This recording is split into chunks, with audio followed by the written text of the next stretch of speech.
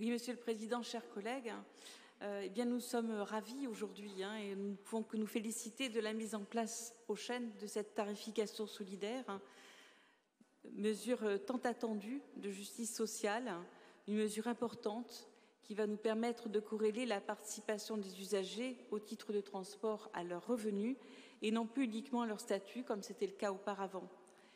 Je ne reviendrai pas sur euh, le long, le très long parcours, la très longue procédure hein, euh, qui aura été euh, nécessaire pour euh, arriver à ce, résultat. Longue procédure qui a été notamment due à un défaut logistique et aux insuffisances de, de Thalès. Nous y sommes aujourd'hui et nous nous réjouissons. Je ne rappellerai pas les conditions qui ont été émises donc par notre vice-présidente Béatrice de François. Je dirais simplement que nous pouvons nous satisfaire hein, que cette nouvelle tarification permettra enfin aux bénéficiaires de l'aide médicale d'État et ceux de la CMU, l'ancien CMU, fait la complémentaire santé solidaire aujourd'hui, de pouvoir bénéficier de la gratuité des transports en commun. Cette proposition, elle nous permet donc de nous placer enfin en conformité avec la loi SRU de 2000.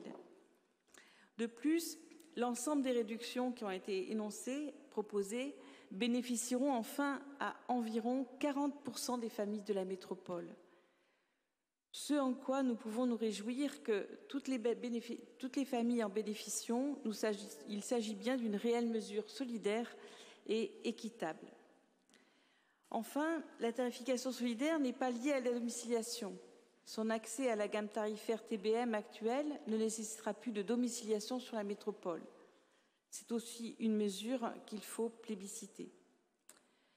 Cette mesure combine ainsi plus de justice sociale, une tarification adaptée aux personnes domiciliées hors de la métropole et de la simplification dans les démarches des usagers. Toutefois, même si nous pouvons être très fiers de cette réelle avancée, nous pouvons nous inquiéter de la charge supplémentaire que cela va représenter pour les CCAS.